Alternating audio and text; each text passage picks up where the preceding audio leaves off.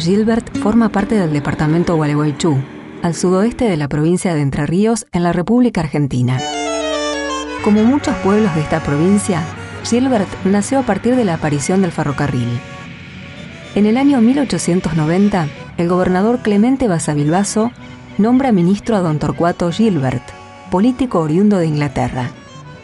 Torcuato trabajó para lograr la construcción de una red ferroviaria que uniera Paraná con el resto de las ciudades de la provincia, el ramal ferroviario General Urquiza. Por esta razón, la estación de ferrocarril y el pueblo llevan su nombre, Torcuato Gilbert. Los propietarios de los campos cercanos a la estación de ferrocarril, la mayoría inmigrantes ingleses, comenzaron a lotear sus tierras y allí se instalaron los primeros pobladores todo se mandaba por tren. Se cargaba la hacienda en jaula. El cereal se depositaba en todos esos inmensos galpones que hay cerca de la estación. Se cargaba en vagones del ferrocarril.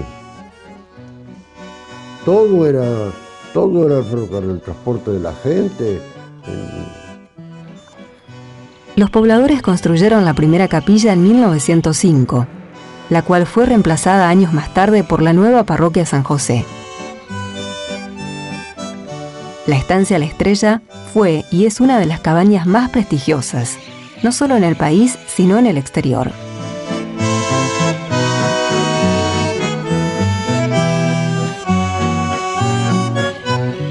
Allí nació el primer ejemplar bovino de la raza Paul Hereford de la Argentina. Incorporó el primer laboratorio de inseminación artificial y fue pionera en la exportación directa de sus productos. En la estancia también se funda la escuela número 103, la Estrella Gilbert, la más antigua conservada en el pueblo.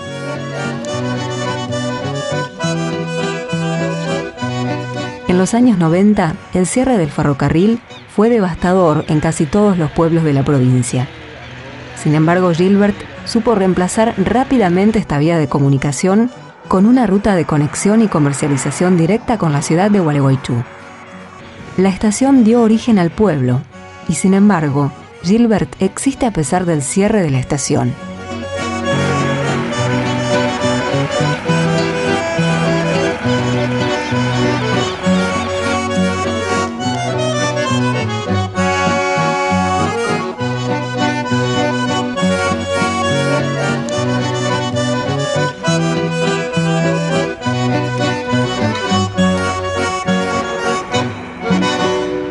Gilbert es un pueblo rural ubicado en el interior de la provincia de Entre Ríos, en el departamento Gualeguaychú.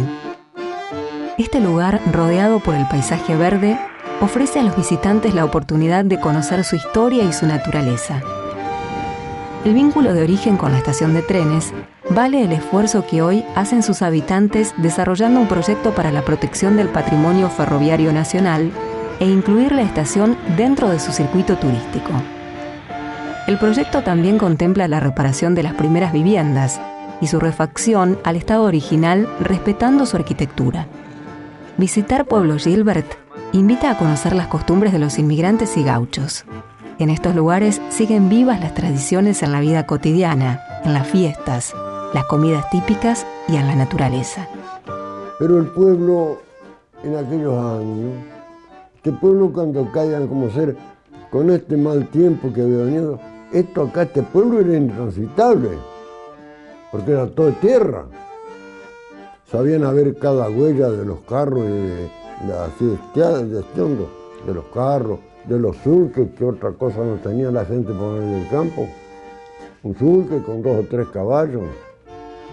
La parroquia San José, el club social, la biblioteca y el centro cultural son algunos de los lugares que se pueden visitar y recorrer en Gilbert también la Plaza San José, creada en honor a su patrono, y la Plazoleta Alemania en homenaje a los inmigrantes de origen alemán.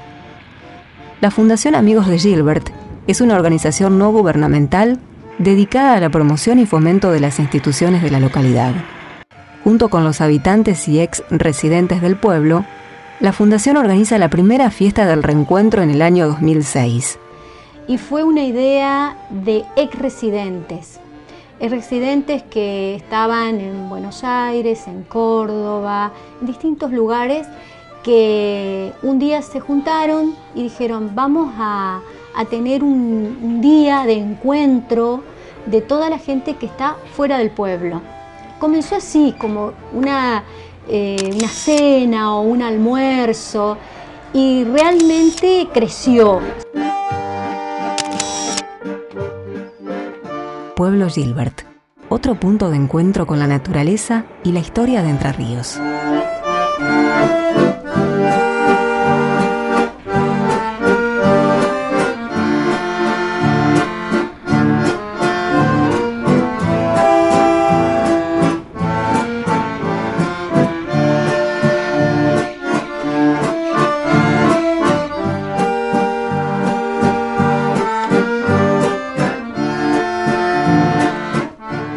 Ahora, viste, con, con el teclado uno hace la orquesta completa con un teclado solo, una sola persona.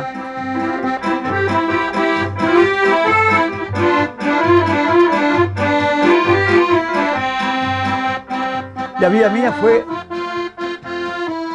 colonos, tenemos campos, sembramos, arrendamos, bueno.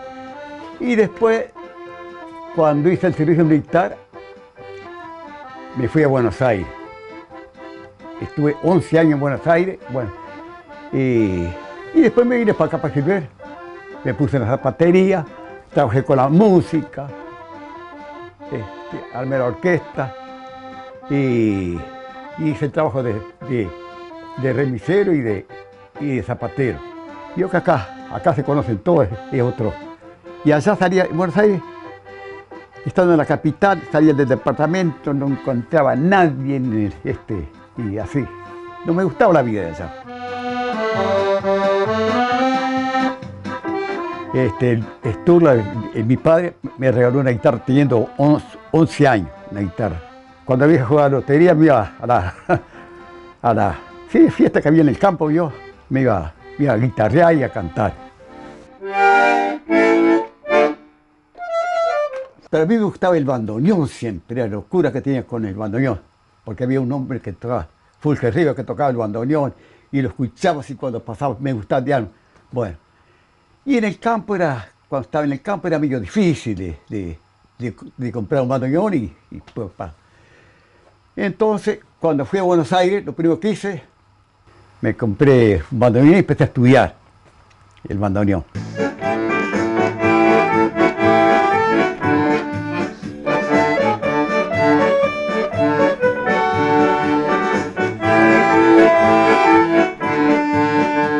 Cuando empezó el asunto del cuarteto imperial de las cumbias, entonces agarré, me compré el acordeón y empecé a practicar, porque había que tocar las fiestas que salían de moda, ¿te das cuenta?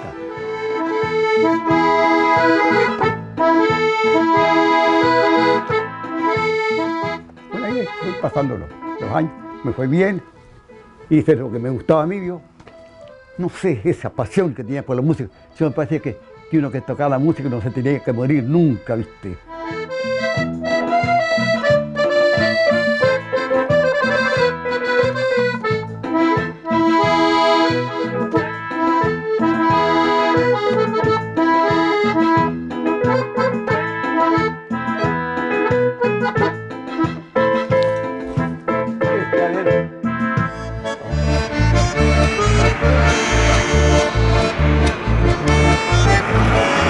Es un pueblo rural que surge con la aparición del ferrocarril en el año 1890.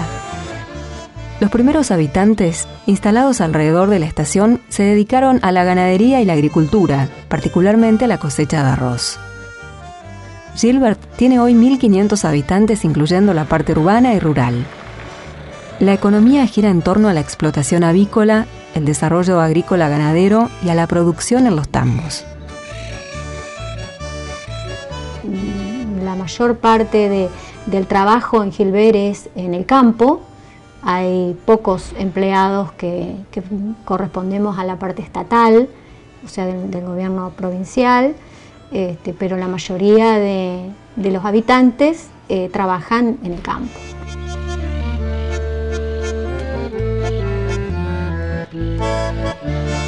Las cosechas habituales son maíz, soja, trigo, sorgo, girasol y arroz, y la raza vacuna predominante es la Paul Hereford.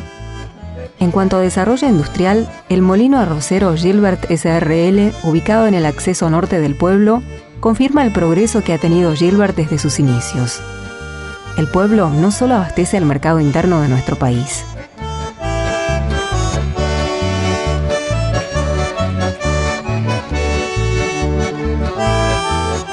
1990 la familia Holzman funda la planta de graneros Gilbert, habilitando la exportación de arroz a Chile, Brasil, Bolivia y Paraguay. Junto a otras tres ciudades, Gilbert conforma la llamada Microregión del Sur Entrerriano. Creada en el año 2003, esta unión tiene el fin de desarrollar la producción de la región y fomentar salud, educación e infraestructura. Actualmente la microrregión mantiene lazos comerciales y culturales con la región del Véneto italiano. Gilbert es un pueblo cálido, este, un lindo lugar para vivir. Este, por supuesto que a veces los que vivimos en el pueblo siempre estamos queriendo algo más, queremos que, el pueblo siga creciendo en distintos aspectos, desde lo cultural, desde lo social, pero es un lindo lugar la economía de Pueblo Gilbert se sostiene en el tiempo, superando lo que significó en su momento el colapso del ferrocarril.